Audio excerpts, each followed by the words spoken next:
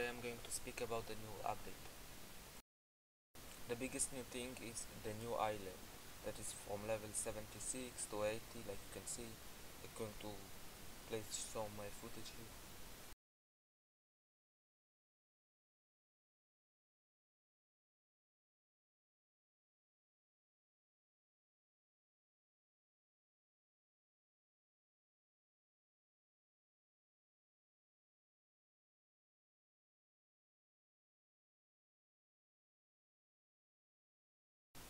The second biggest thing is that you can get uh, legendary keys out of a rare chest like 30% uh, drop chance out of them.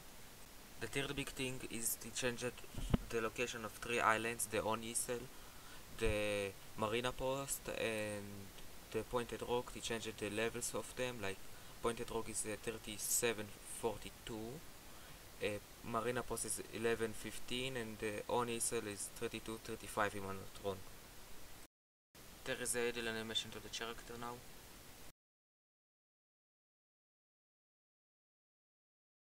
And there are much more many small uh, changes, fixes and uh, bug fixes. Uh, thanks for watching, uh, see you next time.